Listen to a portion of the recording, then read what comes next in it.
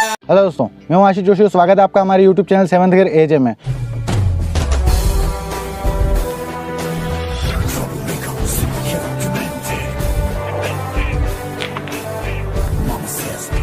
दोस्तों, आज हम बात करने जा रहे हैं मारुति सुजुकी स्विफ्ट के बारे में।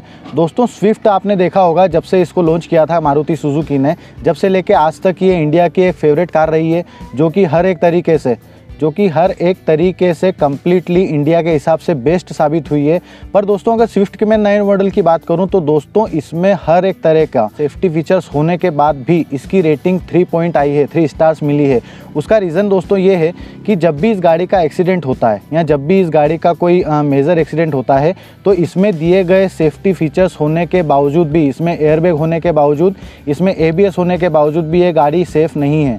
दोस्तों, अगर इसके क्रेश टेस्ट की बात करें तो इसको थ्री स्टार्स मिले हैं। इसके बाद अगर मैं बात करूँ तो दोस्तों, अगर इस गाड़ी का अगर आपका कोई मेजर एक्सीडेंट होता है या आप ज़्यादा स्पीड में अगर इसका एक्सीडेंट होता है तो इसका रीज़न ये है कि इसकी बिल्ड क्वालिटी काफ़ी कमज़ोर है। दोस्तों बिल्ड क्वालिटी काफ़ी हम कमज़ोर होने के बाद भी इसमें एयरबैग आपको मिलेंगे। इसमें आपको सेफ्टी फीचर्स के नाम पर एबीएस मिलेगा।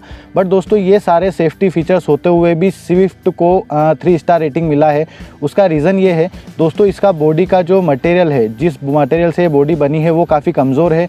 अगर मैं बात करूँ इसके परफॉर्मेंस की तो परफॉर्मेंस इसका काफ़ी अच्छा है, इसका एवरेज अच्छा है। 2018-2017 में ये best car of the year भी रही है। पर दोस्तों, इसका जो स्विफ्ट का नया मॉडल है, इसमें जैसा कि मैंने आपको बताया, सारे सेफ्टी फीचर्स होने के बाद भी इसको थ्री स्टार रेटिंग मिला है, जो कि बिल्ड क्वालिटी कमज़ोर होने की वजह से आपको काफ़ी ज़्यादा मुसीबतों का सामना करना पड़ सकता है। तो दोस्तों, मेरा आपसे निवेदन यही है कि आप अगर नया स्विफ्ट का मॉडल ले रहे हैं तो कृपया उसे ना लें, क्योंकि ये गाड़ी बहुत ही ज़्यादा हल्के मटेरियल से बनाई गई है। अगर आप चाहते हैं कि आपको स्विफ्ट ही लेना है तो दोस्तों कोई भी यूज्ड कार आप ले सकते हैं, कोई भी पुरानी कार आप ले सकते हैं। स्विफ्ट का आप बारह, तेरह, चौदह, पंद्रह, जिस भी तरह का मॉडल लें ले सकते हैं। बट दोस्तों, मेरा आपसे निवेदन यही है कि स्विफ्ट का, जैसा कि आपको फ़ोटो में दिख पा रहा होगा ये वाला जो नया मॉडल है, आप इसे कृपया करके ना लें। उसका रीज़न जैसा कि मैंने आपको बताया इसमें 100 परसेंट सेफ्टी फीचर्स हैं बट सेफ्टी फीचर्स होने के बाद भी ये गाड़ी आपके लिए सेफ़ नहीं साबित होगी।